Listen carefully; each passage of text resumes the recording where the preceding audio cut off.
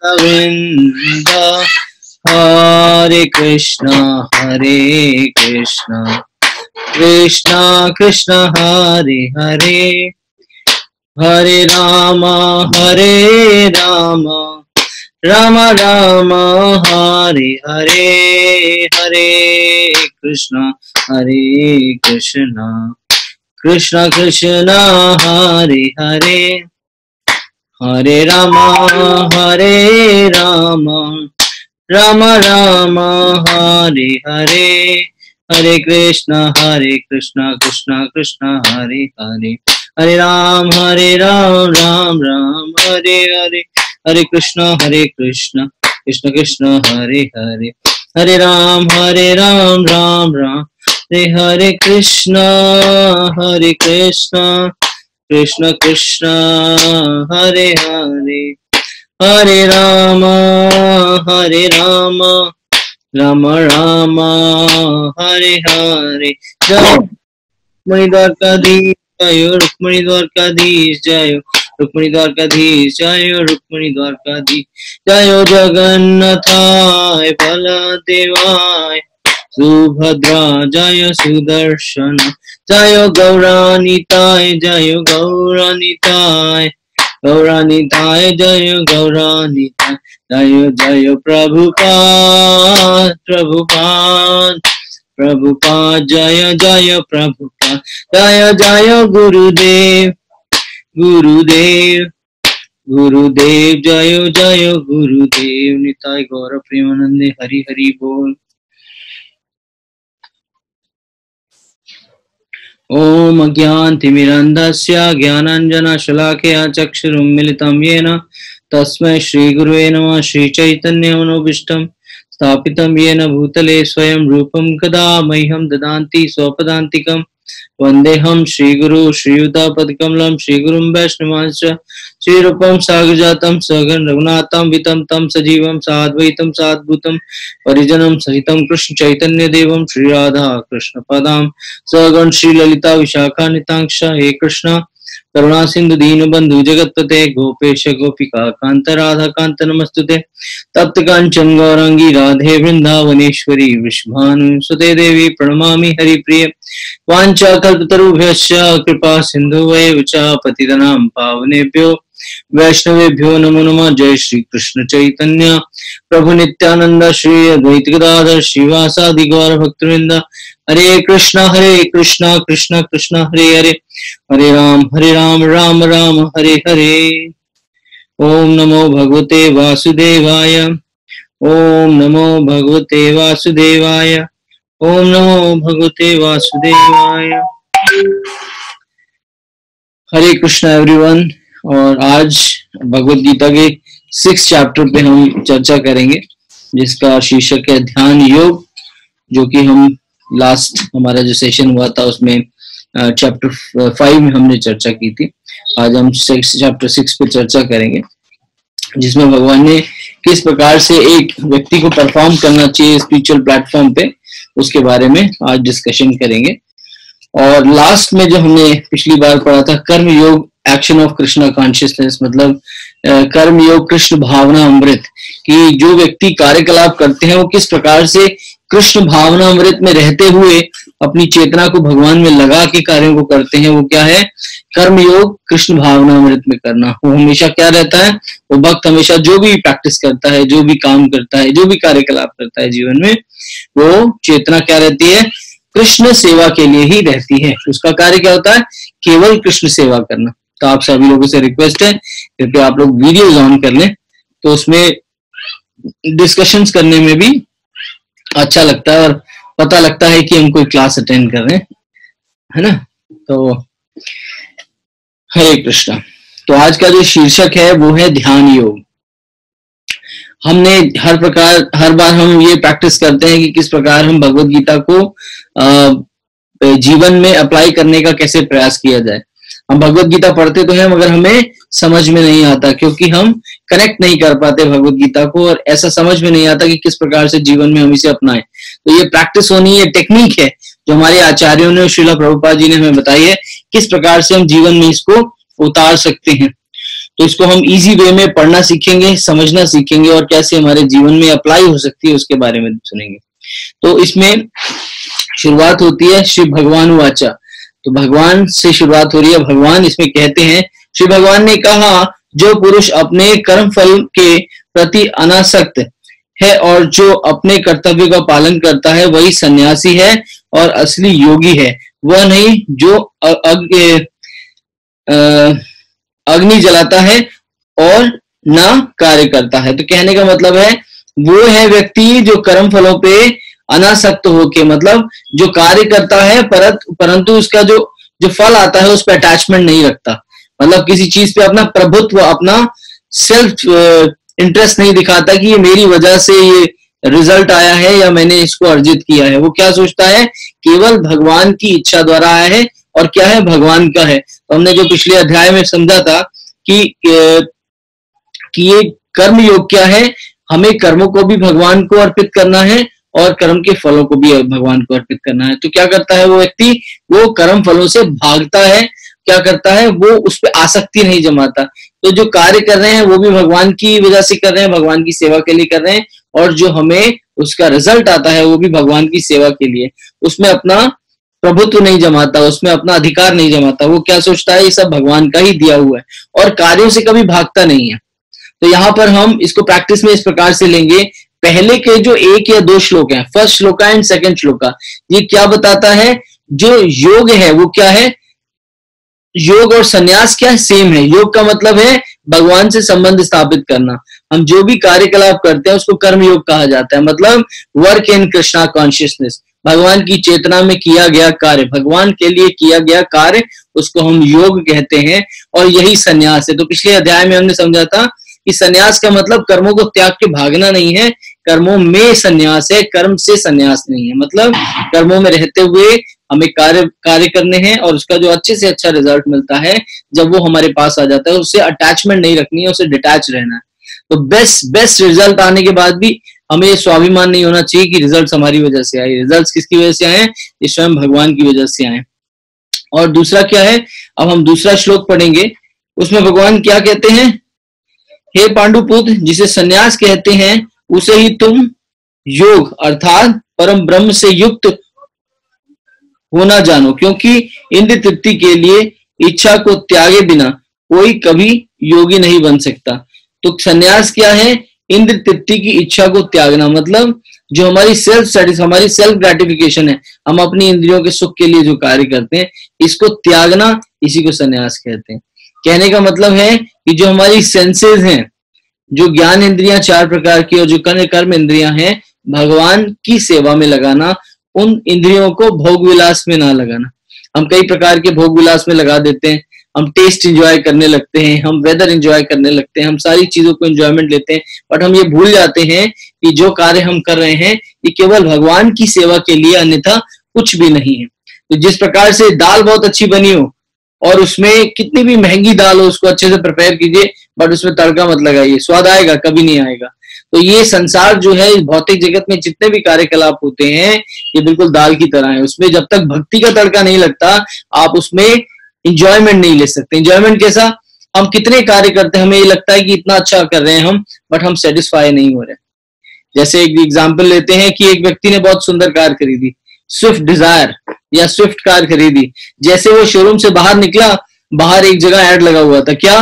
कि latest model कल launch होने वाला है, उसकी कीमत भी सेम थी। तो वो क्या सोचता, ओहो, एक दिन रुक जाता तो मुझे बेस्ट क्वालिटी की ये कार मिल जाती। है आज इसमें ये फीचर्स मिल रहे हैं, कल उसमें वो फीचर्स मिलेंगे। तो क्या होता है हमेशा आगे के लिए भागते हैं। हम कोई अच्छी वॉच ले लेते हैं, अगले दिन दूसरी वॉच लॉन्च हो जाती है। हम एक मोबाइल ले लेते हैं, अगले दिन लेटेस्ट मोबाइल लॉन्च हो जाता है। हम कहते हैं, ओहो, एक महीने बाद लेते तो हमें लेटेस्ट मोबाइल मिल जाता। उसी प्रकार से जब हम जो भी कार्य इस भौतिक जगत में करते हैं, कभी भी उससे संतुष्टि होना लाजमी नहीं है। क्यों नहीं है? जब तक हम भगवान को उसको समर्पित ना कर दें, हम उससे सेटिस्फाई नहीं हो सकते। मान लीजिए आप कितनी महँगी या कितनी सस्ती घड़ी खरीदें। उसका कार्य सिर्फ़ आपको समय दिखाना है। समय व्यक्ति का कब अच्छा होगा? जब वो भगवान की सेवा में लगेगा। आप कितनी भी महँगी घड़ी खरीद लें, आप सेटिस्फाई कभी नहीं हो सकते। आप अच्छा खा रहे हैं, आप खा तो रहे हैं तो आपको खाने में टेस्ट आ रहा है बट आप जब कृष्णा को भोग लगा के खाते हो तो आपको बड़ा सेटिस्फेक्शन होती है, आज मैंने प्रसाद खाया। अन्यथा आप कुछ भी अटर मटर शटर कुछ भी खाते रहो, मगर जब प्रसाद खाते हैं, उसका आनंद कुछ और है है ना? उसी प्रकार से डेली हमारी जो प्रैक्टिस है, उसमें हमें गॉड कॉन्शियस होना चाहिए। फिर अष्टांग योग के श्लोक संख्या तीन में अब क्या चर्चा होती है, इसमें दो लेवल बताए गए हैं। पहला लेवल है अष्टांग योग का जो बिगनर्स के लिए है, जो नए तपस्वी हैं, नए न्यूफाइड डिवोटीज है, उनके लिए बताया गया है। और दूसरा क्या एडवांस स्टेज जिसको योगा रुद्ध कहते हैं। तो इसके बारे में चर्चा करेंगे। अष्टांग योग के नव साधकों के लिए कार्य साधन कहलाता है। तो अष्टांग योग क्या है? जो नव कार्य करने वाले लोग हैं, जो न्यू डिवोटीज हैं, जो परफॉर्म करने पहली बार शुरू शुरू में आध्यात्मिक जगत में आते हैं, उनके लिए है।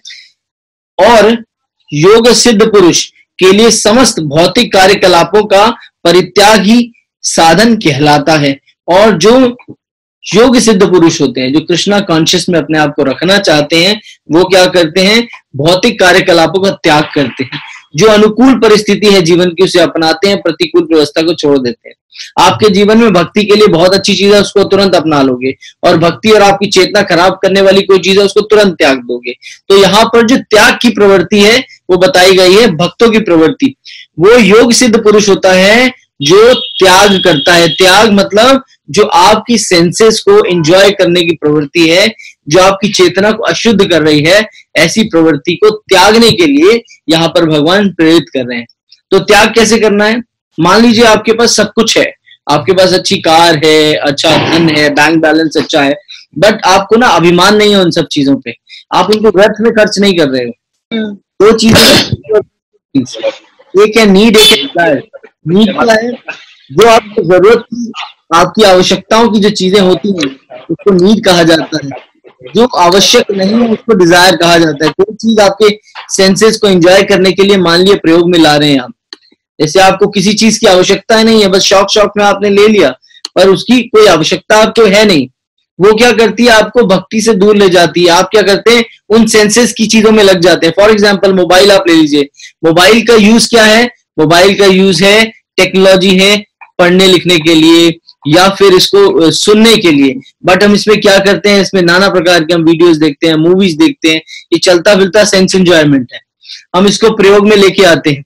बट डिज़ायर क्या है और नीड क्या है, ये समझना बहुत ज़रूरी है। जीवन में खाने के लिए आहार बहुत ज़रूरी है। भगवान कहते हैं, कम खाना, ज़्यादा खाना नुकसानदायक है। लिमिट में खाना भक्त के लिए अच्छा है। तो क्या है? किसी चीज़ की ज़्यादा मात्रा हो जाना या आपके डिज़ायर को प्रस्तुत करती, किसी मात्रा का कम हो जाना, ये भी बैलेंस नहीं है।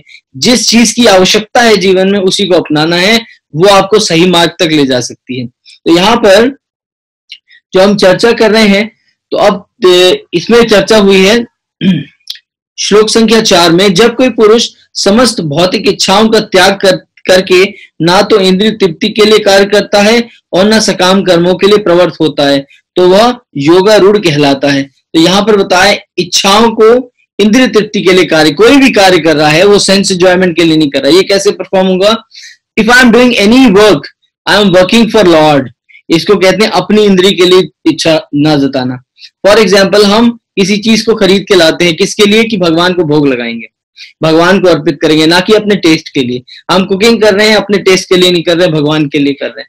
हम कोई भी भौतिक जगत में अर्जित कर रहे हैं धन तो भी हम क्या सोचते हैं? भगवान की सेवा करेंगे, भगवान के हमारे घर में जो अंश है, उनकी सेवा करेंगे। अपने परिवार के सदस्यों को भी भगवान का अंश मानता है। अपनी प्रॉपर्टी नहीं मानता। तो जब हम ऐसे कार्यों की बुद्धि रखते हैं कि हम गॉड कॉन्शियस या कृष्णा कॉन्शियस में रहते हैं तो हमारी चेतना शुद्ध हो जाती है। तो यहाँ पर कोई भी कार्य बताया गया है, अपनी सेंस एंजॉयमेंट के लिए नहीं, भगवान की सेवा के लिए करना चाहिए। और क्या होता है? सकाम कर्म। जो भी हम, जो भी हम कर जो भी हम कार्यकलाप जीवन में करते हैं, वो किसके लिए करने चाहिए? ये सोच के नहीं करने चाहिए कि हम ये दान हैं। ये हम केवल भगवान की प्रसन्नता के लिए इन कार्यों को कर रहे हैं, अन्यथा तो भी मेरा अधिकार नहीं है। तो श्लोक संख्या पाँच में आता है, मनुष्य को चाहिए सहायता से अपना उद्धार करे। तो यहाँ पर सहायता से, मन कैसा? गॉड कॉन्शियस हमारा जो मन होना चाहिए, वो किसमें होना चाहिए? भगवान की चेतना में हमेशा लगा होना चाहिए। ना कि अपनी इंद्रिय तृप्ति की चेतना में हमें रहना चाहिए। हमें यही हमेशा सोचना चाहिए कि हम भगवान की सेवा में रहें, जो मन गॉड कॉन्शियस रहेगा, भगवान की सेवा के लिए रहेगा, वो हमेशा अपने आप का उद्धार करेगा। For example if you want to serve Lord आप मान लीजिए कि आपका मन करता है भगवान को कुछ भोग लगाने का, या भगवान भगवान के लिए कोई ड्रेसेस बनाने का, या भगवान के लिए कोई भी कार्य करने का आपका मन करता है तो आप क्या सोचते हैं कि मैंने भगवान की सेवा की। सेवा से क्या होता है? आपको बहुत संतुष्टि मिलती है। ऐसे करते करते भक्त का ना उद्धार हो जाता है। हमेशा भगवान की सेवा में लगे रहना वो सा, साधन देना अपने आप को कि भगवान की सेवा में लगी ऑटोमेटिक प्रोसेस है। इसमें आपको ज़्यादा प्रैक्टिस करने की ज़रूरत नहीं है। If you engage in Krishna consciousness अगर आप चेतना भगवान की सेवा में लगे रहेंगे ये चेतना हमेशा बनी रहेगी तो ऑटोमेटिक भगवान क्या करते हैं इसमें आपको प्रोग्रेस दिलाते हैं। इसमें आपको ज़्यादा हार्डवर्क नहीं करना होता। इसमें आप इंजॉय भी करते हो। इफ़ यू सर्व लॉर्ड आपको अपने आप ऑटोमेटिक इंजॉयमेंट होगा और आपको भगवान पुश कर रहे होंगे पीछे से। कई बार हमें भक्तों को ऐसा लगता है कि हम लोग जो है भाग रहे हैं, भगवान हमें मिल नहीं रहे। बट कई बार होता है रनिंग कभी देखिए रन करते हैं तो क्या होता है, दौड़ते दौड़ते हम सोचते हैं कि हम आगे चले जाएँ बट आगे वाला बहुत दूर जा चुका होता है। और वो क्या करता है, एक लैप लेके वापस हमारे पीछे आ जाता है और हमारे साथ दौड़ने लगता है और हमें ऐसा लगता है हमारे साथ ही दौड़ रहा है। बट वो हमसे बहुत आगे दौड़ चुका होता है। तो उसी प्रकार से जब भगवान दौड़ रहे होते हैं और हमें मिल नहीं पाते तो हम भूल जाते हैं कि भगवान हमारे पीछे आ चुके हैं और हमें पीछे से प्रेस कर रहे हैं। हमें पीछे से पुश कर रहे हैं हाउ टू परफॉर्म तुम परफॉर्म करो, मैं तुम्हें एनर्जाइज करूँगा, मैं तुम्हें फोर्स करूँगा, मैं तुम्हें एम्पावर करूँगा कि तुम और ज़्यादा से ज़्यादा मेरी सेवा में आगे आ सको। और अपने को नीचे ना गिरने दे। तो यहाँ पर बताया है कि भगवान की सेवा में हमेशा लगे रहें और ये आपको प्रोग्रेस कराएगा और अपने आप को नीचे ना गिरने, कभी भी कनेक्शन को कट ना होने दे। Always engage in Krishna consciousness यह मन बद्ध जीव का मित्र भी है और बद्ध जीव का शत्रु भी है। जो हमारा मन होता है, हमें अच्छे कार्य में भी लगा सकता है और हमें बुरे कार्य में भी लगा सकता है। तो ये हमारा मित्र भी है और हमारा शत्रु भी है। एक व्यक्ति का अगर अपने जीवन का उद्धार करना है तो मन को कृष्णा भावना अमृत में लगाना अति आवश्यक है। ये कैसे लगेगा? जब आप अपनी इंद्रियों को भगवान की सेवा में लगाएँगे। तो जब हम भगवान की सेवा में अपनी इंद्रियों को लगाएँगे ऑटोमेटिकली क्या होगा? इंद्रियों का काम है कहीं ना कहीं लगना। वो हंड्रेड परसेंट काम करती है। मगर हमें क्या करना होता है? उसे ऑब्जेक्ट देना होता है। फॉर एग्ज़ाम्पल हमारी आँखें गलत चीज़ों को भी देख सकती हैं बट हम क्या करते हैं? ज़्यादा से ज़्यादा कोशिश करते हैं कि हम शास्त्रों का अध्ययन करें, भगवान के दर्शन करें, धाम जाएँ, भक्तों का संग करें। तो इस प्रकार से हम अपनी जो इंद्रियाँ हैं, वो गॉड कॉन्शियसनेस में लगा सकते हैं। यही श्लोक संख्या पाँच और छह, इसमें जो चर्चा है, वो बहुत इंपॉर्टेंट है। Mind is the both friend and enemy तो यहाँ हमने चर्चा की, दोनों मित्र भी हैं और शत्रु भी हैं। तो यहाँ पर श्लोक संख्या छह में कहते हैं, जिसने मन को जीत लिया है, उसके लिए मन सर्वश्रेष्ठ मित्र है, किंतु जो ऐसा नहीं कर पाए, उसके लिए मन सबसे बड़ा शत्रु है। तो इंद्रियों को जीतना अति आवश्यक। यहाँ भगवान कह रहे हैं अपनी इंद्रियों को जीतना अति आवश्यक है। तो आप इंद्रियों को कैसे जीत सकते हैं? अपने विषय को बदल के। विषय कैसे बदला जाएगा? हम विषय अगर बदलना चाहें तो हम अपने विषय को कैसे बदलेंगे? किस प्रकार से सिलेक्शन करें कि कौन सा विषय मेरे लिए ठीक है? तो अभी मैंने जैसे चर्चा की, जो भक्ति के लिए अनुकूल परिस्थिति है, उसको चुन लें। और जो भक्ति के लिए प्रतिकूल व्यवस्था है, उसको तुरंत त्याग दें। जैसे एक व्यक्ति स्टूल पास करते ही उस स्थान को छोड़ देता है, ज़्यादा वहाँ नहीं बैठता, क्योंकि अपने आप से स्मेल आने लगती है। उसी प्रकार से ये भौतिक जगत में जो भक्ति के लिए अनुकूल परिस्थिति है, उस परिस्थिति से हमें जुड़ जाना चाहिए। और जो प्रतिकूल परिस्थिति है, जिसमें हमें लगता है कि हमारी चेतना अशुद्ध हो रही है, भक्ति से हम दूर जा रहे हैं, उसको तुरंत त्याग देना चाहिए।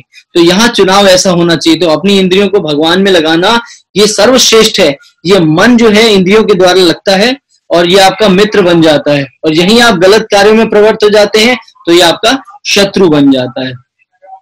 अब श्लोक संख्या चार की ये सात और नौ में क्या बताया है? इसका जो मेन पॉइंट है, वो क्या है? Symptoms of of a person yoga रुद्ध मतलब एक सिद्ध व्यक्ति, जो कृष्ण भावना व्यक्ति है, वो क्या उसका जो उसके सिम्टम्स क्या होते हैं, वो कैसा दिखता है, कैसा चलता है तो यहाँ पर चर्चा हो रही है, जिसने मन को जीत लिया है उसने पहले ही परमात्मा को प्राप्त कर लिया है। तो जो मन को जीत लेता है, भगवान कहते हैं, वो तुरंत ही मुझे प्राप्त कर लेता है। क्योंकि अब उसने अपने मन को जीत लिया और मन कहाँ लगेगा? अगर भौतिक इच्छाओं से दूर हो जाएगा तो ये मन हमारा आध्यात्मिक इच्छाओं मतलब भगवान की चेतना में लगेगा। क्योंकि इसने शांति प्राप्त कर ली है।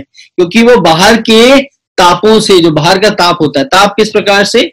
जैसे हमें किसी चीज़ की लस्ट होती है, हर प्रकार की धन की लस्ट होती है सेक्स की लस्ट होती है, नाना प्रकार की चीज़ों को प्राप्त करने का लस्ट होता है, उसको त्याग देता है और मन क्या हो जाता है? संभाव। हमारा मन शांत हो जाता है और क्या करता है? केवल कृष्ण प्रेम को प्राप्त करने के लिए ही प्रयास युक्त होता है। ऐसे पुरुष के लिए सुख, दुख, सर्दी, गर्मी एक समान अपमान, मान अपमान एक से हैं। तो इस व्यक्ति के लिए ऐसा जो शुद्ध वैष्णव होता है, उसके लिए सुख दुख ज़्यादा मायने नहीं रखते। सर्दी, गर्मी ज़्यादा मायने नहीं रखती, ना ही मान अपमान ज़्यादा मायने रखता है। उसके लिए केवल एक ही चीज़ मायने रखती है कि किस प्रकार से मैं अनुकूल परिस्थिति द्वारा भगवान के प्रेम को प्राप्त कर सकूँ और उसके लिए वो साधन ढूंढता है।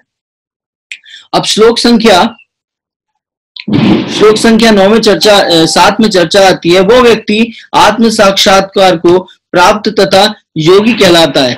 वह व्यक्ति आत्म साक्षात्कार को प्राप्त तथा योगी कहलाता है, जो अपने अर्जित ज्ञान तथा अनुभक्ति, अनुभूति से पूर्णतया संतुष्ट रहता है। तो यहाँ पर क्या बताया है? यहाँ पर बताते हैं सेल्फ रियलाइजेशन जो भगवान की चेतना को सेल्फ रियलाइज़ करता है, जो अपने ज्ञान को अर्जित करता है। मतलब अपना जो नॉलेज है किसके प्रति? भगवान को जानने का प्रयास करता है बार बार भगवान के बारे में जिज्ञासा करता है और अपने अनुभव से और इस जिज्ञासा करने से क्या होता है? अपने अनुभव से संतुष्ट रहता है और उसकी चेतना जो संतुष्ट रहती है हर एक चीज़ में कि जो मेरे पास है जितना मेरे पास है जो मैं करना चाह रहा हूँ मैं उससे संतुष्ट हूँ।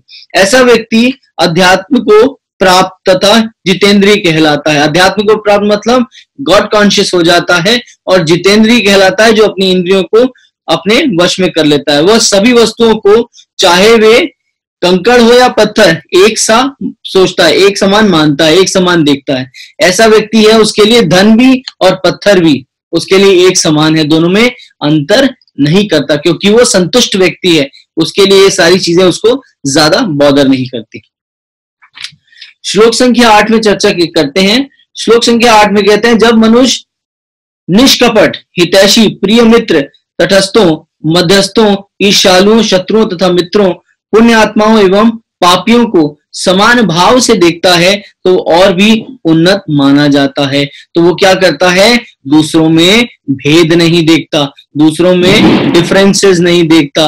वो शत्रु और मित्र को एक समान मानता है। यहाँ पर एक बहुत सुंदर टीका लिखी गई है, जहाँ पर शिला रूप गोस्वामी जी भक्ति रसामृत सिंधु में कहते हैं, अगर कोई मांस खाने वाला चांडाल प्रवृत्ति का व्यक्ति भले वो किसी भी योनि का क्यों ना हो, भले वो किसी भी जात का क्यों ना हो, अगर वो मांस खाने वाला यहाँ तक कि शुकर कुकर खाने वाला भी हो, अगर वो एक बार जीवन में हरि नाम ले तो भक्तों का कर्तव्य बनता है उसके सामने दंडवत करना, क्योंकि वो भगवान के प्रेम को प्राप्त करने का भागी बन जाता है। तो यहाँ पर क्या बताया गया है? जो शुद्ध वैष्णव है, कभी किसी में भेद नहीं देखता। वो सबको एक भाव से देखता है, किसी में डिफरेंसेस नहीं देखता। तो जो हरि नाम ले रहा है, उसमें हमें कभी भी डिफरेंसेस नहीं देखने चाहिए।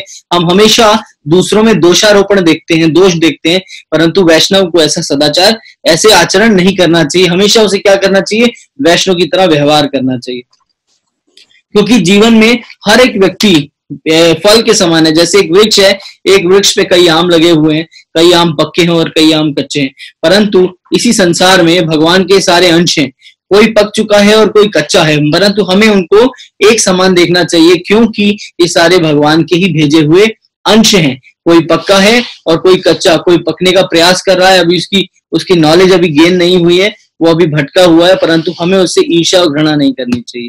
हम कई बार देखते हैं, भक्त का आज प्रश्न था कि प्रभु जी, हमेशा हमें ऐसा ऐसा होता है कि लोग हमारे विपरीत चलते हैं तो हमें अच्छा नहीं लगता। तो हमें क्या करना चाहिए? कोई हमारे विपरीत चल रहा है, भले ही आप वैष्णविज्म का पालन कर रहे हो और सामने वाला नहीं कर रहा हो, मगर कभी भी हमें उसे हीन भावना से नहीं देखना चाहिए। इसकी वजह यह है, अगर हम उसको हीन भावना से देखेंगे तो व्यक्ति तो ऑलरेडी गलत स्थान पे जा रहा है, गलत कार्य कर रहा है, उसको ऐसा संग मिलेगा, कोई शराबी उसको शराब पीने के लिए प्रेरित करेगा तो वो चला जाएगा। और इसी प्रकार से भक्तों को क्या करना चाहिए? भक्तों को भी प्रेरणा देनी चाहिए ऐसे लोगों को अपने साथ ले जाने के लिए। क्योंकि उसका मन तो भटक रहा है, कोई ऐसा व्यक्ति उसको गलत कार्य के लिए ले जा सकता है। आप उसको अच्छे कार्य के लिए ले जाइए। अगर आपने त्याग दिया, अगर आप उसको नहीं ले जाओगे तो आप क्या करोगे? भगवान के कार्य से वंचित हो जाओगे। और वो जिसका सौभाग्य था कि भक्तों का संग मिल पाता, वो क्या होगा? भक्तों के संग से वंचित हो जाएगा। तो दोनों का नुकसान होगा। हमारा भी नुकसान होगा कि हम भगवान की सेवा ठीक से नहीं कर पाए और उसका भी नुकसान होगा कि इस जन्म में उसको संग मिल रहा था और वो संग प्राप्त नहीं कर पाया। अब यहाँ श्लोक संख्या दस, ग्यारह से सत्रह तक आती है। Practicing stage of ashtanga yogi basic practice recommended and goal of ashtanga yoga तो यहाँ पर हम चर्चा करेंगे योगाभ्यास के लिए योगी एकांत स्थान में जाकर भूमि पर उषा बिछा दे। और फिर उसे मृग छाल से ढक दे तथा उसे मुलायम वस्त्र बिछा दे। आसन ना तो बहुत ऊँचा होना चाहिए और ना बहुत नीचा। यह पवित्र स्थान में स्थित होना चाहिए। योगी को चाहिए कि इस पर दृढ़ता पूर्वक बैठ जाए और मन इंद्रियों तथा कर्मों को वश में करके करते हुए मन को एक बिंदु पर स्थित करे। हृदय को शुद्ध करने के लिए योगाभ्यास करे। तो यहाँ पर बताया, हरे नाम हरे नाम हरे नाम एवं केवलम, कलव नास्तेव नास्तेव गतिरन्य था तो यहाँ पर बताया गया है कि क्या करना है, एक स्थान पे बैठ के, हम इतना सब कुछ तो नहीं कर पाते बट एक स्थान पे बैठ के हमें चिंतन करना है, कैसे मन इंद्रिय और कर्मों को वश में करके, कि मन भी ना भटके, इंद्रिया विषयों में भी ना लगे, और हमारे कर्मों को कुछ समय के लिए छोड़ के हमें क्या करना है? तुरंत बैठ के भगवान के सामने या तुलसी वगैरह के सामने अपने आप को एक केंद्र बिंदु पे बैठा के और वहाँ पर क्या करना है? हरे कृष्णा हरे कृष्णा, कृष्ण कृष्ण, हरे हरे हरे राम हरे राम राम राम, हरे हरे। क्या बताया है? हरे नाम हरे नाम हरे नाम एव केवलम। कलव नास्ते व नास्ते व नास्ते व तो यहाँ पर हरे नाम हरि का नाम हरे नाम हरि का नाम।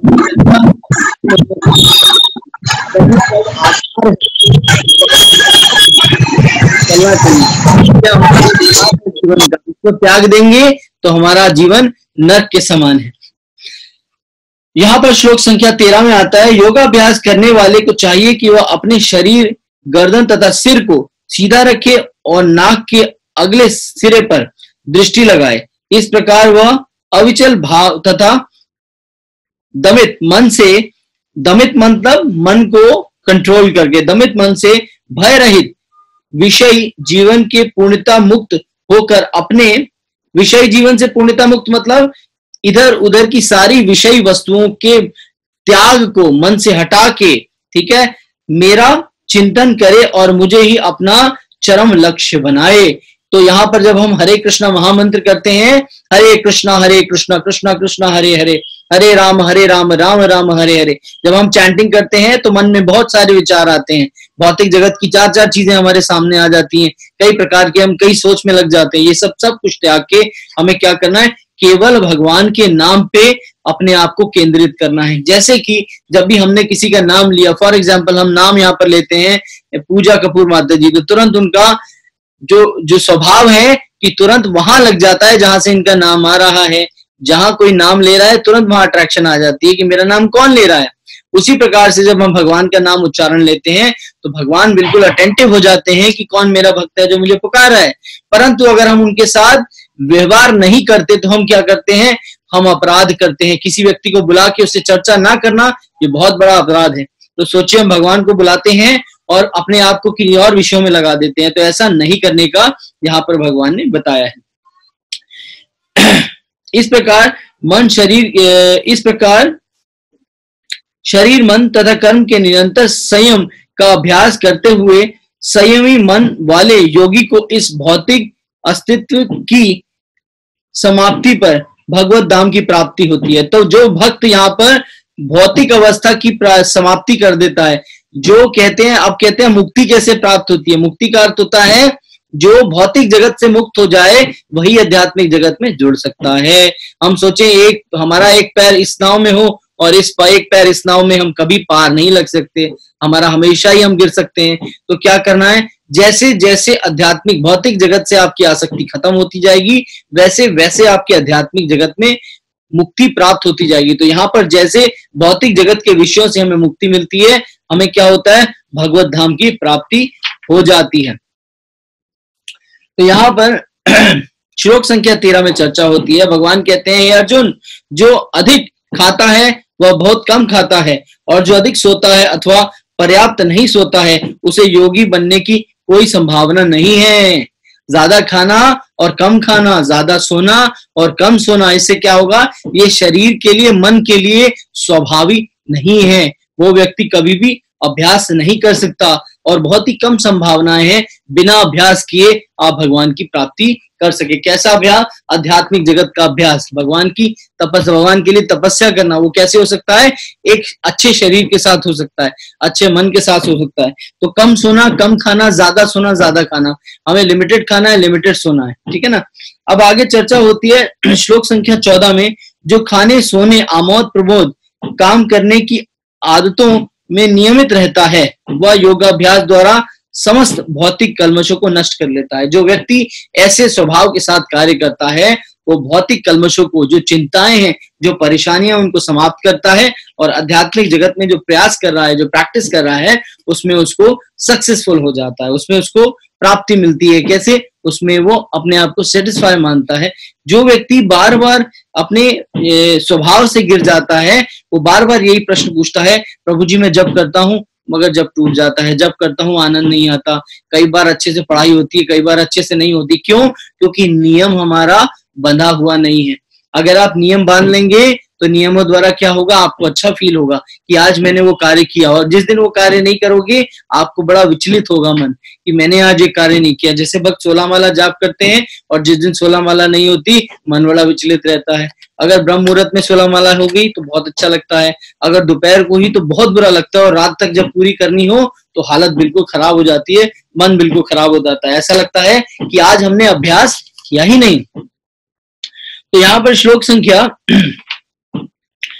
श्लोक संख्या श्लोक संख्या पंद्रह में यहाँ पर कहते हैं, भगवान जब योगी योगाभ्यास द्वारा अपने मानसिक कार्यकलापों को वश में कर लेता है और अध्यात्म में स्थित हो जाता है, अर्थात समस्त भौतिक इच्छाओं से रहित हो जाता है, तब वह योग में स्थिर कहलाता है। तो यहाँ पर योगाभ्यास, किस प्रकार से योगाभ्यास? प्रभुपाद जी ने बहुत ही सुंदर सिद्धांत बताया है, योगाभ्यास कैसे करना हरि नाम जपना है, साधु संग करना है, इस प्रकार से हम जब योगाभ्यास करते हैं तो हम एक मत हो जाते हैं, भगवान के प्रति हमारी आसक्ति बढ़ जाती है, इस अभ्यास से हम स्थिर हो जाते हैं, हमारी बुद्धि कैसी होती है, सिद्ध हो जाती है, भगवान की चेतना में तुरंत लग जाती है, हमें भगवान अग्रसर करते हैं, हमें इंपावर करते हैं कि किस प्रकार से हम भगवान की सेवा और अच्छे तरीके से कर सकते हैं। फिर क्या चर्चा होती है? भगवान कहते हैं, जिस प्रकार वायु रहित स्थान में दीपक हिलता डुलता नहीं। उसी तरह जिस योगी का मन वश में होता है, वह आत्म तत्व के ध्यान में सदैव स्थित रहता है। तो जिस प्रकार से कहीं वायु रहित स्थान पे दिया रहता है, उसकी लौ कभी हिलती डुलती नहीं है। क्यों? क्योंकि वहाँ पर वायु नहीं है। उसी प्रकार से जब एक भक्त अपना मन भगवान में एकाग्र एक चित्त कर देता है, स्थिर हो जाता है तो आसपास की भौतिक चीज़ें उसके इस सिद्धांत को हिला नहीं पाती। वो क्या करता है? सदैव उनका मन भगवान में स्थित हो जाता है। फिर यहाँ पर श्लोक संख्या बीस से चर्चा होती है। अब यहाँ पर क्या बताया गया है? अठारह से तेईस, बीस से तेईस श्लोक में बताया गया है परफेक्शनल स्टेज ऑफ़ अष्टांग योगी। एक अष्टांग योगी है, उसकी स्टेज क्या होनी चाहिए और various aspect to realization of perfection कि हम किस प्रकार से जो कृष्ण भावना अमृत है, उसमें हम अपने आप को और अच्छा और अच्छी तरीके से परफॉर्म कर पाए। इसमें भगवान क्या कहते हैं, सिद्ध की अवस्था में, जिसे समाधि कहते हैं, मनुष्य का मन योगाभ्यास के द्वारा भौतिक, मानसिक क्रियाओं से पूर्णतया संमित हो जाता है। वह सिद्धि की विषयता यह है कि मनुष्य शुद्ध मन से अपने को देख सकता है। तो हम क्या करते हैं, जब कृष्ण कॉन्शियसनेस में रहते हैं, कृष्ण भावनामृत में रहते हैं तो हम अपने आप को देखते हैं। जैसे कई बार बताया गया है, चेतो दर्पण मार्जनम। जब हम हरि नाम जपते हैं तो अपने चित्त के मार्जन मतलब चेतो मतलब चित्त। चेतो दर्पण दर्पण मतलब शीशा और मार्जना मतलब उसको साफ़ करना। जब हम हरि नाम लेते हैं तो क्या होता है? हमारे चित्त का जो दर्पण है उसमें हम अपना प्रतिबिंब देख पाते हैं। तो यहाँ पर बताया गया इस की विषयों तथा है कि मनुष्य शुद्ध मन के अपने को देख सकता है और अपने आप से आनंद उठा सकता है। कैसा? कृष्ण भावना अमृत का। अब भगवान की सेवा करने में भी बहुत आनंद आता है। इस अनादिमयी स्थिति में वह दिव्य इंद्रियों द्वारा असीम दिव्य सुख में स्थित रहता है। तो यहाँ पर है, उसको, उसकी चेतना हमेशा शुद्ध रहती है। हमेशा भगवान का कृतज्ञ रहता है। हमेशा भगवान में उसका चित्त लगा रहता है।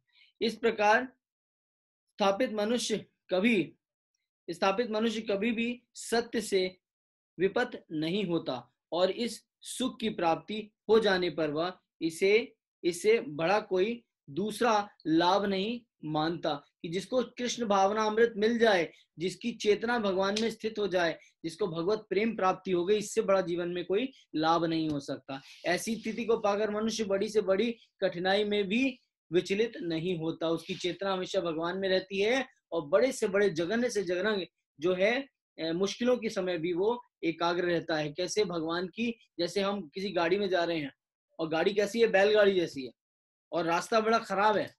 तो क्या होगा? हमें झटके लगेंगे। हमारा रास्ता क्योंकि खराब है, मगर अगर हम मर्सिडीज में बैठ के जाएँ तो उसके शॉक एग्जॉर्बर्स हमें क्या झटके लगने नहीं देंगे। क्यों? क्योंकि हम मर्सिडीज में बैठे हैं। उसी प्रकार से इस भौतिक जगत में जब हम रहते हैं, हमारे सामने नाना प्रकार के कलेश आते हैं, नाना प्रकार की परेशानियाँ आती हैं, हम घबरा जाते हैं, अपना आपा खो बैठते हैं, कई बार सुसाइड भी कर लेते हैं। क्यों? क्योंकि हम अभी बैलगाड़ी में सफ़र कर रहे हैं। मगर यही भगवान क्या करते हैं? कृष्ण भावना अमृत की मर्सिडीज में हमें बैठाते हैं और इन्हीं रास्तों से ले जाते हैं जो उबड़ खाबड़ टूटे फूटे हैं। परंतु इन रास्तों का हमें रंच मात्र भी दुख नहीं होता या परेशानी हमें नहीं होती। क्यों? हम कृष्ण नाम की मर्सिडीज में बैठे हुए तो ये है कि हम कृष्ण नाम की मर्सिडीज में जब बैठ जाते हैं तो हमें ये छोटे मोटे जो भी नुकसान हो गए या फिर किसी प्रकार की मुश्किलें आ गई, इनसे हमें फ़र्क नहीं पड़ता। यह निस्संदेह भौतिक संसर्ग के, संसर्ग से उत्पन्न होने वाले समस्त दुखों से वास्तविक मुक्ति दिलाता है।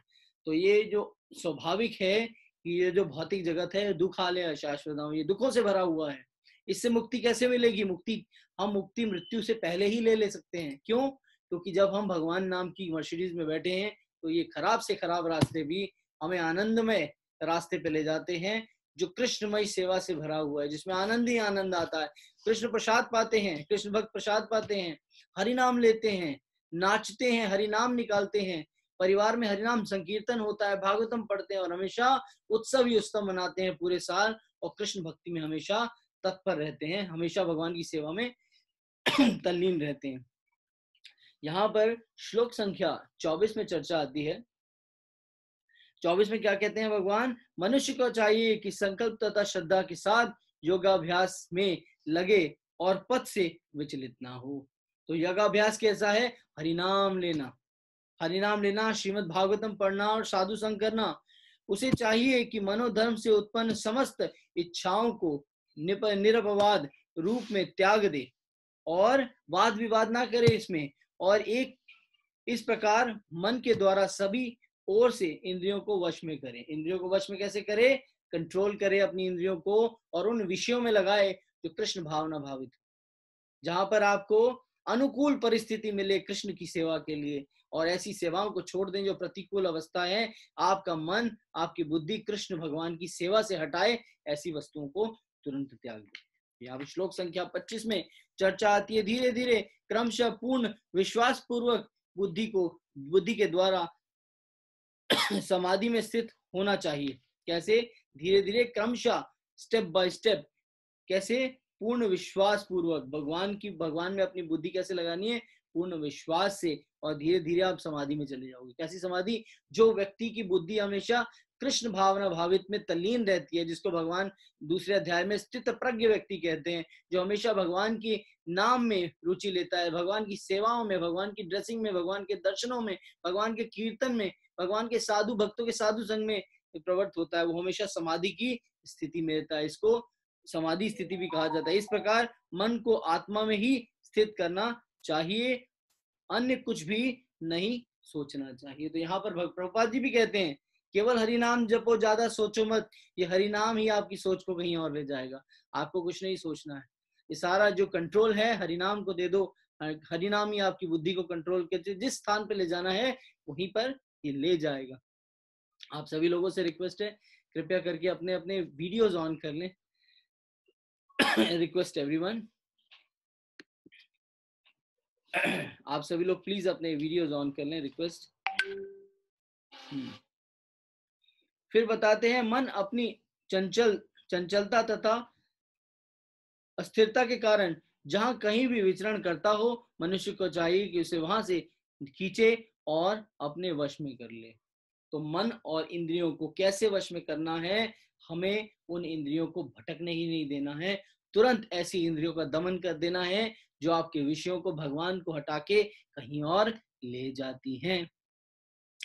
श्लोक संख्या सत्ताईस ट्वेंटी सेवन इसमें भगवान कहते हैं, जिस योगी का मन मुझमें स्थित रहता है, वह निश्चित ही दिव्य सुख की सर्वोच्च सिद्धि प्राप्त कर लेता है। तो भगवान में मन का अस्तित्व होना तुरंत सारे पापों को ध्वस्त कर देता है। भक्ति रसामृत सिंधु में श्री रूप गोस्वामी जी कहते हैं कि जो एक बार हरिनाम लेता है और तुरंत जो चरणामृत पीता है, जो भगवान के दर्शन करता है, भगवान कहते हैं उसके पुराने जितने पाप कर्म हैं, उनको मैं एक झटके में ध्वस्त कर देता हूँ।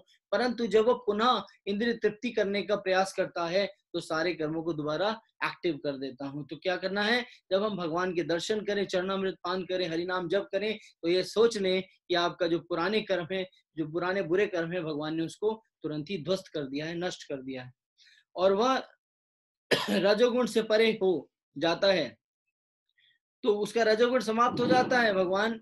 अब यहाँ पर श्रीमद भागवतम के फ़र्स्ट कैंटो में कहते हैं, जब भक्त भगवान के श्रवण करता है, भगवान के नाम का जब करता है या भगवान का नाम की ग्लोरिफिकेशन सुनता है तो तुरंत भक्ति देवी उसके हृदय में वास कर जाती है और वो सतोगुण में आ जाता है। परंतु वैसे ही, जैसे ही सतोगुण में से हम हटते हैं नाम श्रवण कीर्तन ये सब बंद कर देते हैं तो क्या होती है, भक्ति देवी बेघर हो जाती हैं, क्योंकि तो हमारे निवास स्थान जो भक्ति देवी का है, वो हम उनसे छीन लेते हैं तो हम सतोगुणी नहीं रह जाते। मगर यहाँ भगवान कह रहे हैं कि जो भक्त मेरे नाम का श्रवण करता है, तुरंत वो रजोगुण से परे हो जाता है। वह परमात्मा के साथ अपनी गुणवत्ता गुणात्मक एकता को समझता है और इस प्रकार अपने समस्त विगत कर्मों के फल से निवृत्त हो जाता है तो अपने जितने पाप कर्म हैं उनको ध्वस्त कर लेता है। श्लोक संख्या अट्ठाईस। यहाँ पर हमने जो चर्चा की श्लोक संख्या सत्ताईस तक, इसमें चर्चा हुई है क्या मेथड है उस भक्ति के कार्य करने के, क्या फॉर्मूलाज हैं, और फिर चर्चा की हमने कि कौन सा ऐसा, जो ब्रह्मभूत अवस्था कैसे आती है, जब हम भगवान के नित्य संगी बन जाते हैं, भगवान की हमेशा चर्चा करते हैं, भगवान के सेवाओं में हमेशा रत रहते हैं। तो यहाँ पर इसको क्या कहता है? ब्रह्मभूत अवस्था कही गई और फिर एक्शन ऑफ़ परफेक्शन योगा तो अब हम आगे इसकी चर्चा करेंगे कि कैसे परफेक्शनिस्ट बना जाए इस योगाभ्यास से, भक्ति की। तो यहाँ पर भगवान कहते हैं, इस प्रकार योगाभ्यास से निरंतर निरंतर लगा रहकर आत्म संयमी योगी समस्त भौतिक कलमशों से मुक्त हो जाता है। तो क्या more practice of Hari naam sankirtan. Chant Hare Krishna Hare Krishna Krishna Krishna, Hare Hare Hare Ram Hare Ram Ram Ram, Hare Hare. More chant and more chant and more chant and you become purified. Prabhupada ji कहते हैं, इस प्रकार योगाभ्यास से निरंतर लगा रहकर आत्म संयमी योगी समस्त भौतिक कलमश से मुक्त हो जाता है और भगवत श्री भगवान की दिव्य प्रेमा भक्ति में परम सुख प्राप्त करता है। कैसी प्रेमामयी भक्ति में तो भक्ति में जो सुख है, वो भक्ति में उस टॉप मोस्ट जो भक्ति के बाद भी जो चीज़ मिलने वाली होती है, वो भी शायद इतनी स्वादिष्ट या इतनी आनंदमय नहीं होगी जितनी भक्ति का ये पथ इतना सुंदर है। ये शिला रूप गोस्वामी जी भी बताते हैं भक्ति रसामृत सिंधु में। उसके बाद चर्चा आती है श्लोक संख्या उनतीस में।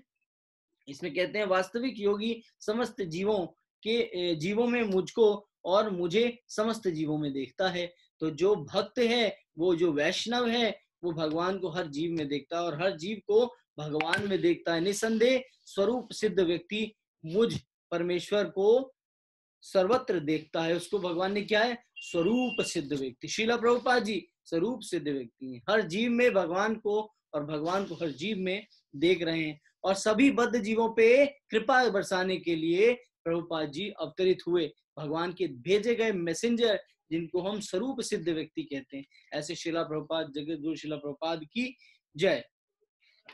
श्लोक संख्या तीस। श्लोक संख्या तीस में चर्चा आती है, जो मुझे सर्वत्र देखता है और जो सब कुछ मुझमें देखता है, उसके लिए ना तो मैं कभी अदृश्य होता हूँ और ना वह मेरे लिए अदृश्य होता है। तो जो हम जीवों में देखते हैं और जीवों में भगवान को देखते हैं तो उस वैष्णव के लिए भगवान कभी अदृश्य होते ही नहीं। मंदिर में भक्त लोग आके पूछते हैं, प्रभु जी, आप इतने सालों से मंदिर में कभी आपने भगवान को देखा?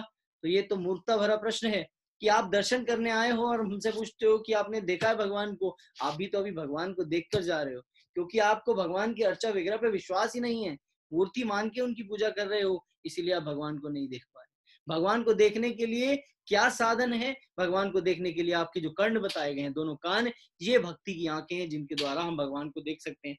कैसे देख सकते हैं? भगवान के गुणगान को सुन के, उनकी ग्लोरिफिकेशन को सुन के हम उन्हें देख सकते हैं। तभी भगवान के प्रति हमारी प्रीति उजागर होगी। श्लोक संख्या इकतीस।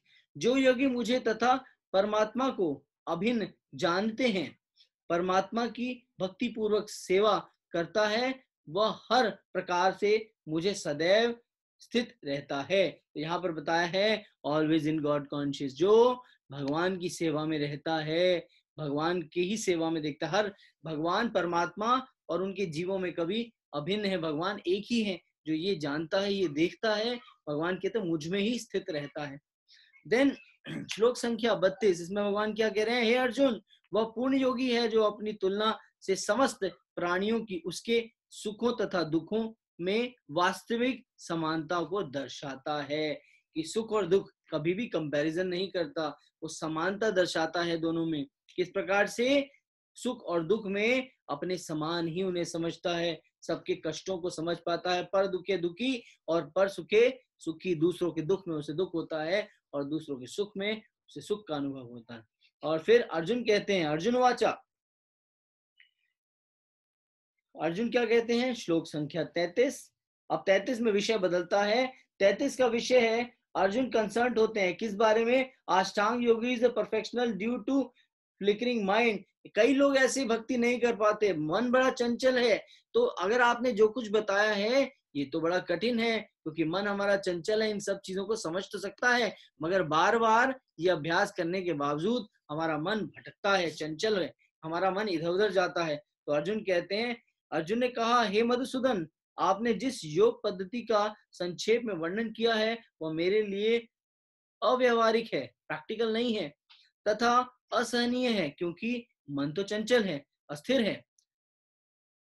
फिर भगवान श्लोक संख्या चौतीस में चर्चा करते हैं।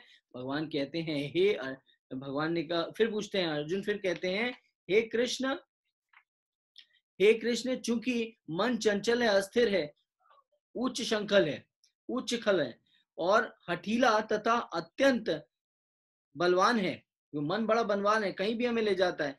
मुझे इसे वश में करना वायु को वश में करने की भी अधिक कठिन है कि मन को वश करना वायु को कंट्रोल करने से भी ज़्यादा कठिन है। भगवान चर्चा करते हैं भगवान वाचा भगवान ने कहा भगवान ने कहा श्री भगवान ने कहा हे महाभाव निस्संदेह चंचल मन को वश में करना अत्यंत कठिन है, किंतु उपयुक्त अभ्यास द्वारा, विरक्ति द्वारा ऐसा संभव है। कैसा अभ्यास? हमारे हरि नाम जप का अभ्यास। और कुछ नहीं, नाम नप भजन क्रिया साधु संग, इन सबसे भगवान जो बता रहे हैं कि ऐसे अभ्यासों से भक्ति में अभ्यास रत होना, भगवान कहते हैं इसके द्वारा सब कुछ संभव है। हम सोचते हैं हमारा अभ्यास नीचे का है हम अच्छे से जप नहीं कर सकते, हमारा जप ठीक से नहीं होता है, इस जन्म में हमें भगवत प्राप्ति नहीं होगी। मगर ऐसा सोचना मूर्खता है, क्योंकि हमें सिर्फ़ क्या करना है? भगवान के नाम का जप करना है, प्रभुपाद जी के बताए हुए मार्ग पे चलना है। रास्ता भगवान हमारे लिए स्वयं तैयार करते हैं। लक्ष्य की प्राप्ति होना ना होना भगवान पे निर्भर करता है। हमें क्या करना है? हमें अपना हंड्रेड परसेंट देना है। परंतु हम अपना हंड्रेड परसेंट नहीं देते हैं और फिर नाना प्रकार के डाउट्स क्रिएट करते हैं। हमने ऐसा नहीं किया, हमने वैसा नहीं किया। प्रभुपाद जी ने बताया, सोलह माला का जब करो, तुम्हें भगवत प्राप्ति अवश्य होगी। इस पे कोई संदेह नहीं। प्रभुपाद जी की पुस्तकों का वितरण करो, उसका, उसको पढ़ो, इससे क्या होगा? तुम्हें भगवत प्राप्ति होगी। साधु संग करो, इसके बगैर तुम्हें भगवत प्राप्ति हो ही नहीं सकती। गुरु को, आप गुरु को अपनाओ, गुरु की शिक्षाओं को अपनाओ, गुरु बगैर भगवान मिलने संभव नहीं है। तो यहाँ पर हमें गुरुजन की या शीला प्रभुपाद की बातों पे कभी भी डाउट नहीं करना चाहिए, तुरंत अपनाना चाहिए। गुरु हमारे लिए मार्ग खोल देता है और भगवान हमारे लिए द्वार खोल देते हैं। जब गुरु हमारे लिए मार्ग बनाता है, उस मार्ग पे चलते चलते एक ऐसी समाप्ति होती है, जहाँ पर भगवान ऑटोमेटिक द्वार खोल देते हैं और आपका प्रवेश हो जाता है। और प्रभुपाद जी कहते हैं, अगर आपके लिए द्वार ना भी खुले तो बैक डोर से मैं आपको एंट्री दिला दूँगा। तो जब गुरु इतना कॉन्फिडेंटली आप बोल रहे हैं तो आपको किस बात की चिंता है, फिर भी हम अपने डाउट्स के द्वारा इस बात को समझ नहीं पाते। यहाँ पर श्लोक संख्या चौतीस थर्टी फोर में भगवान कहते हैं शिव भगवान ने कहा, हे महाभाव, कुंतीपुर निसंदेह चंचल मन को वश में करना अत्यंत कठिन है, किंतु उपयुक्त अभ्यास द्वारा, विरक्ति द्वारा ऐसा संभव है। श्लोक संख्या पैंतीस, यहाँ पर श्लोक संख्या पैंतीस में फिर चर्चा आती है, चर्चा का विषय बदलता है। यहाँ पर क्या है?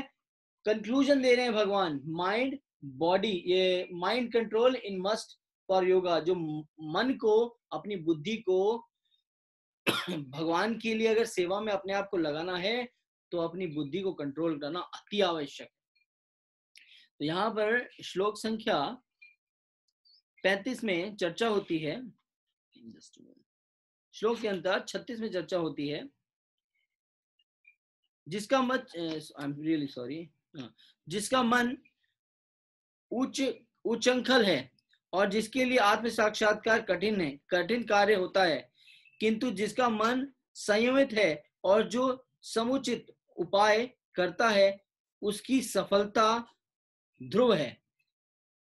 ऐसा मेरा मत है कि जो समित भाव से समुचित उपाय करता है, जैसा भगवान बता रहे हैं वैसा वैसा करते जाता है तो यहाँ सफलता ध्रुव भगवान कह रहे हैं भगवान कह रहे हैं, ध्रुव है मतलब पक्की है, ऐसा मेरा मत है। भगवान कह रहे हैं, अगर तुम मेरे बताए हुए कार्यों को करोगे, निश्चित रूप से तुम मुझे प्राप्त करोगे। यहाँ श्लोक संख्या सत्ताईस में अर्जुन हुआ अब अर्जुन क्या कहते हैं? अर्जुन ने कहा, हे कृष्ण, उस सफल योगी की गति क्या है?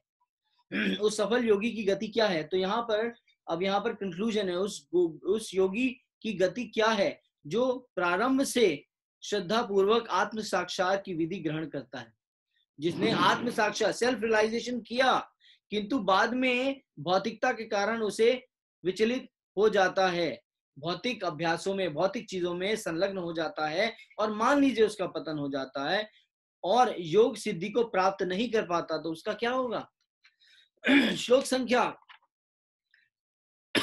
अड़तीस में भगवान कहते हैं, हे महाभाव कृष्ण, हे महाभाव अर्जुन कहते हैं, हे महाभाव कृष्ण क्या ब्रह्म ब्रह्म प्राप्ति के मार्ग से भ्रष्ट ऐसा व्यक्ति आध्यात्मिक तथा भौतिक दोनों ही सफलताओं से अच्युत नहीं होता और छिन्न भिन्न बादल की भांति विनष्ट नहीं हो जाता? कि जो भौतिक अगर कार्य कर भी रहा है और भौतिक इच्छाओं से, भौतिक, जो भौतिक हमें चीज़ें अट्रैक्ट करती हैं, उसके करने से हमें, अगर हमारा पतन हो जाता है और हम बादल की तरह छिन्न भिन्न हो जाते हैं तो उसका क्या होगा? जिसके फल स्वरूप उसके लिए किसी लोक में कोई भी स्थान नहीं रह पाएगा। तो ऐसे व्यक्ति को कैसे गति प्राप्त होगी, जो एक बार एडवांस करने के बाद अगर उसका पतन हो जाता है तो उसकी गति कैसी होगी? तो यहाँ पर भगवान चर्चा करते हैं। भगवान कह रहे हे कृष्ण, यही मेरा संदेह है। अर्जुन कह रहे हैं, यहाँ मेरा डाउट है कि जो प्रगति कर रहा है, उसका पतन होगा तो उसको कहाँ गति मिलेगी? तो भगवान से कहते हैं, ये मेरे ये मेरा संदेह है और आपसे इसे पूर्णतया दूर करने की प्रार्थना करता हूँ, आपके अतिरिक्त अन्य कोई ऐसा नहीं कर सकता। मेरे डाउट को और कोई दूर नहीं कर सकता, जो इस संदेह को नष्ट कर सके। तो मेरा अगर डाउट है ये कि जो प्रगति करेगा, अगर उसका पतन हो गया, अगर वो कहीं गिर गया, अगर उसका पतन हो गया, कहीं वो फंस गया भौतिक जगत में तो उसका क्या होगा, उसको क्या प्राप्त होगा भगवान? इसका उपाय तो केवल आपके ही पास है। श्री भगवान ने कहा, हे पार्थ, कल्याण कार्यों में निरित योगी का ना तो इस लोक में और ना ही परलोक में ही विनाश होता है। कि जो मेरी भक्ति में अग्रसर रहता है, जो ऑलवेज मेरी भक्ति में एंगेज रहता है, मेरी सेवा में रत रहता है, उसका पतन कभी नहीं होता। हे मित्र, भलाई करने वाला कभी भी बुराई से पराजित नहीं होता। जो भलाई करता है, वो बुराई से कभी पराजित नहीं होता, ये भगवान कह रहे हैं। तो यहाँ हम अगर भक्ति में प्रगति करते हैं तो हमारा लॉस कभी नहीं होता। कैसे होता है? कि हमने अगर दस कदम चले हैं और दसवें कदम पे हमारा पतन हो जाता है, कहीं हम, हमारे को चोट लग जाती है और हम रेस में दौड़ नहीं पाते, मगर हम अगले साल फिर से रेस में दोबारा से पार्टिसिपेशन लेते हैं तो भगवान क्या कहते हैं, जो तुमने पिछले दस कदम दौड़े थे, उसको मैं एड ऑन करके तुम्हें ग्यारहवें कदम से आगे इस मार्ग पे दौड़ने की अनुमति देता हूँ। तो भक्ति में अगर आप कहीं रह भी गए, आपसे गलती हो भी गई, आपका पतन हो भी गया तो क्या होगा? आपको आगे दोबारा से मनुष्य होनी मिलेगी और वैष्णव के घर में जन्म मिलेगा और दोबारा आपको शुद्ध भक्ति करने का मौका भगवान प्रदान करेंगे। अब यहाँ पर भगवान यहाँ पर निश्चित कर रहे हैं, भगवान यहाँ पर कॉन्फिडेंस दे रहे हैं, भगवान यहाँ पर कंफर्मेशन दे रहे हैं। फिर भी अगर हमें डाउट है तो हमसे बड़ा मूर्ख कोई नहीं है।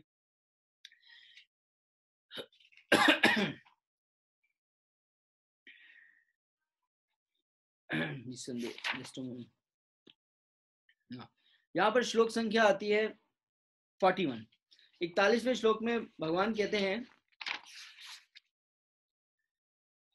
असफल योगी असफल योगी पवित्र आत्माओं के लोकों में अनेकों अनेक वर्षों तक भोग करने के बाद या तो सदाचारी पुरुष के परिवार में या कि धनवान के कुल में जन्म लेता है।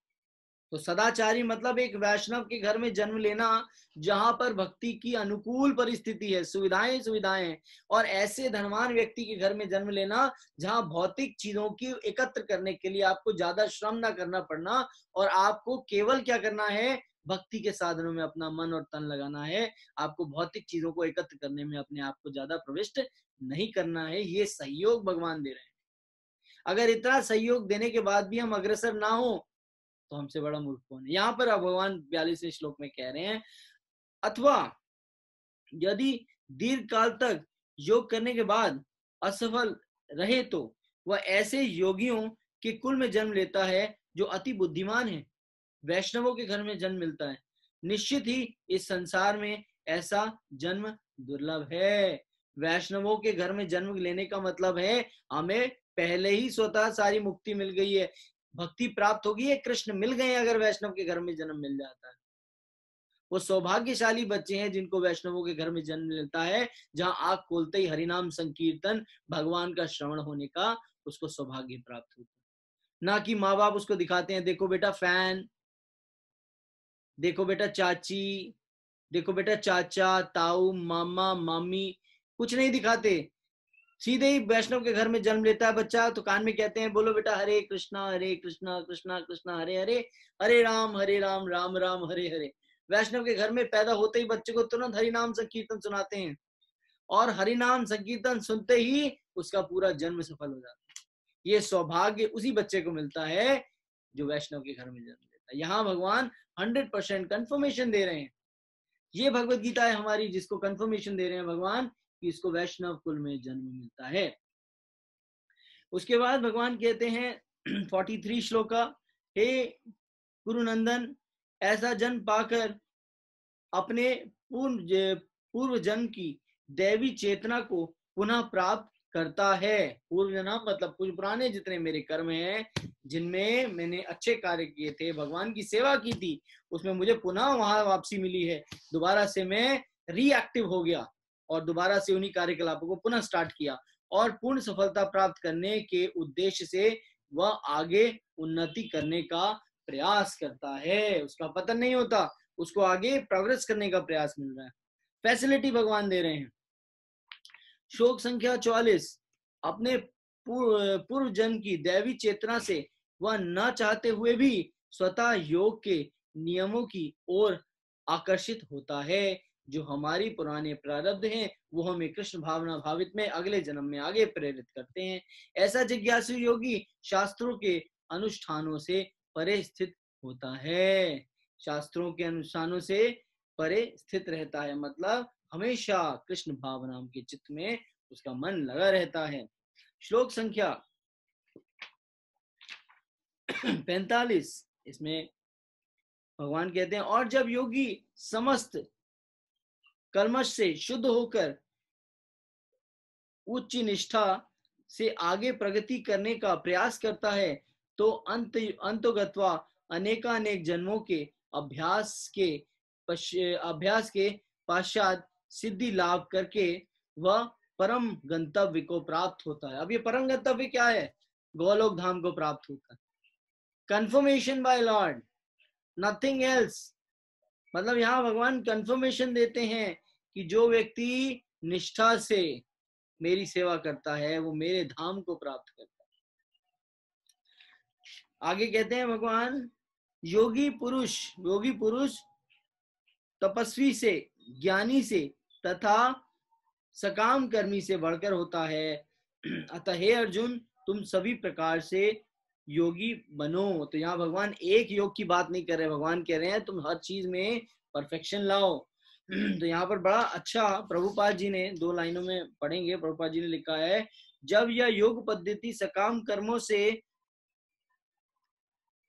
मुख्य, जब यह योग भक्ति सकाम कर्मों से मुख्य संबंधित होती है तो यह कर्म योग कहलाती है। जब यह चिंतन से संबंधित होती है तो ज्ञान योग कहलाती है, और जब ये श्री भगवान की भक्ति से संबंधित होती है तो ये भक्ति योग कहलाती है। It's very important to understand कि जब यहाँ पर बताया सकाम कर्मों से, जब हम आपकी सेवा में लगते हैं, भगवान की निष्काम कर्म योग सेवा करते हैं तो ये कर्म योग कहलाता है। जब हम भगवान की बारे में चिंतन करते हैं, तब ये ज्ञान योग कहलाता है, और जब भगवान के संबंध में मतलब भगवान की भक्ति के संबंधित कोई कार्य करते हैं तो यह भक्ति योग कहलाता है। आगे श्लोक संख्या में बताते हैं भगवान, और समस्त योगियों में से जो योगी अत्यंत श्रद्धा पूर्वक मेरे परायण है, अपने अंतकरण में मेरी विषय में सोचता है और मेरी दिव्य प्रेममय भक्ति करता है, वह योग में, मुझमें परम अंतरंग रूप से, रूप में युक्त रहता है और सबों में सर्वोच्च है, यही मेरा मत। भगवान कह रहे हैं ही उत्तम अधिकारी he is top most devotee यहाँ पर भगवान बता रहे हैं, बहुत कंफर्मेशन दे रहे हैं भगवान यहाँ पर कि मेरे को पारायण करता है और पारायण मतलब श्रद्धापूर्व मेरे परायण करता है, मुझ तक आता है, अपने अंतकरण में मेरे ही विषय में सोचता है। He is always in Krishna consciousness मेरी प्रेमामय भक्ति करता है।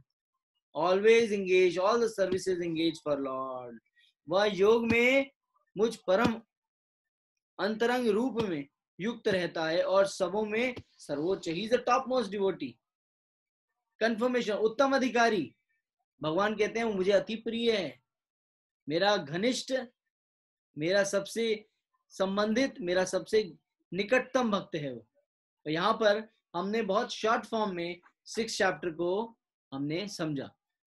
तो यहाँ पर हम इसकी स्लाइड्स आपको भेजेंगे, जिससे आप अच्छी तरह समझ पाएँगे। When you start reading Bhagavad Gita ये पॉइंट्स हमेशा डिस्कशन में लें।